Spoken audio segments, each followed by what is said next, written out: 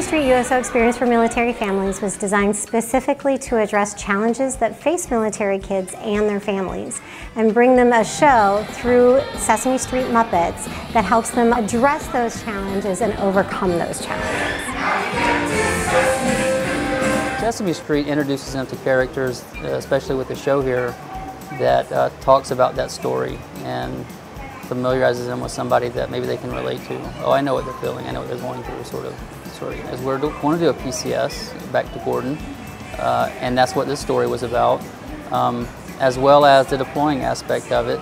So, you know, when that time comes, we can say, "You remember when we went to the Sesame Street and saw the story?" The kids kind of connect with them and see that they're real characters and not just on TV.